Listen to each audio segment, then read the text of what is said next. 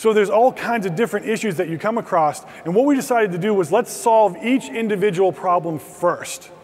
So we solved the track problem, we solved the suspension problem, we solved the motor problem, we solved the, the, final drive, which by the way, the final drive for, for everybody out here that, that likes to crunch numbers, we clutch 14,000 foot-pounds of force in a 14 by 3 inch disc.